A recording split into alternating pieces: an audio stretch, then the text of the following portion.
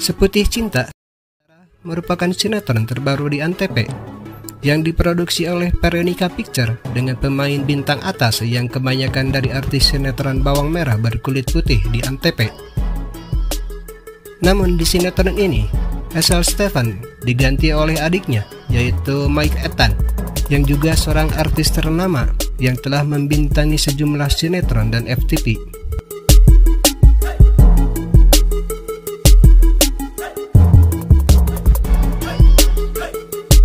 Seputih Cinta dengan alur cerit yang dilatar belakangi dengan perselingkuhan. Di awal, Parel seorang suami dari Tasa merupakan seorang pria yang biasa saja yang kemudian Parel kuliah di luar negeri dengan bantuan dari Tasa. Parel kemudian kembali ke Indonesia dengan kesuksesan bisnis berkat bantuan dari Tasa.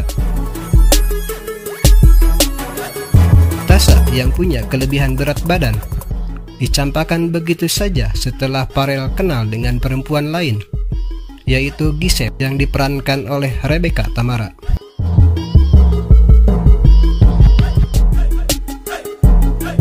Hingga suatu hari, Tasya melihat Farel berselingkuh dengan Gisel, dan Tasya dicampakkan begitu saja oleh Farel dan ibunya yang lebih memilih Gisel.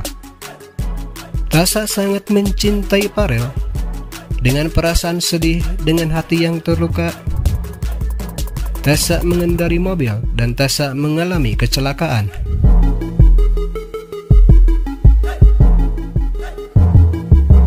Atas peristiwa itu, Parel dan orang tuanya menyatakan bahwa Tasya telah meninggal dan mereka menguburkannya.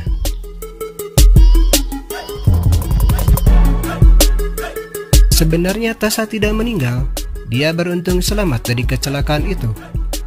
Tasa ditolong oleh Rangga dan sahabatnya yang seorang dokter yaitu Anton. Tasa dirawat hingga sembuh dari lukanya. Di hari ke-40 kematiannya, Tasa mendatangi Parel di rumahnya. Namun sesampainya di sana, Tasa begitu terkejut, sedih dan kecewa. Parel dan keluarganya sedang melangsungkan pertunangan dengan Giselle.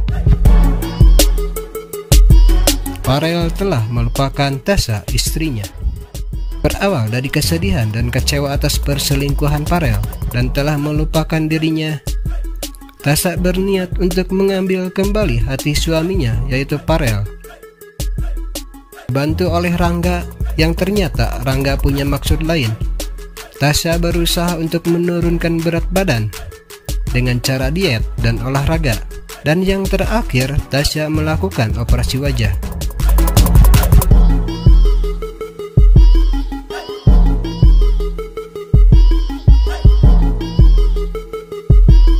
Usahanya yang gigih, Tasa berhasil merubah bentuk badan dan wajahnya. Tasa bersama Rangga punya misi dan tujuan, dan Tasa mengganti namanya menjadi Amanda.